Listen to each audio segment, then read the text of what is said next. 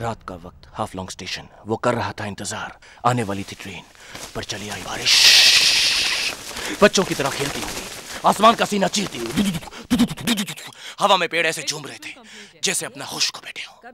Tin की छतें मस्ती में नाचते हुए एक दूसरे से टकरा रही इस तरह बरसा था कुछ आसमान उस दिन। गुस्से में, जैसे सारी दुनिया को डबा देगा। और इस सब के बीच में प्लेटफॉर्म की दूसरी तरफ़ अंधेरे में उसे कोई दिखाई दिया। भाई साहब! आपके पास माचिस होगी क्या?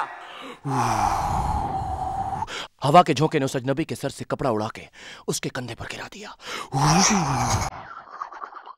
लड़की।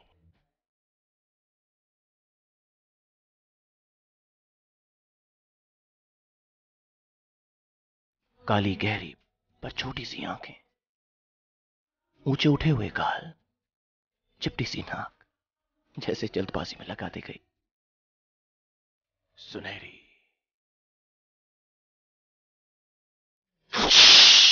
लड़की पर नज़र पड़ते ही उसने तय किया उसको उठाकर बदमाशों से बचाकर घोड़े पर ले जाएगा। तोड़ तोड़ तोड़ ना ही वहाँ पर घोड़े थे ना ही कोई बदमाश। माफ़ कीजिएगा मैंने आपको आदमी समझकर आपसे माचिस मांग ली। उसका जवाब कुछ नहीं सिर्फ़ एक नज़र। जादू भरी। मुस्कुराती क्यों नहीं? कुछ पूछती क्यों नहीं? सिगरेट सॉरी अचानक। जैसे मोती बिखर गया। वो बोली चाय? या। फूल वाले डिज़ाइन के ग्लास में गर्म चाय। लिए मैं तेज़ी से दौड़ा। बस इतनी कि चाय गिरने ना पाए।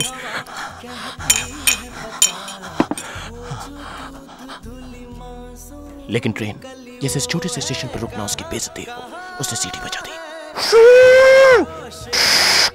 मैंने ट्रेन को देखा। मुझे ये नहीं मालूम था कि ये मेरी ट्रेन है या उसकी ट्रेन है। गार्ड ने लाल झंडी के साथ साथ हरी झंडी भी दिखा दी। मैं ट्रेन की तरफ़ भागा।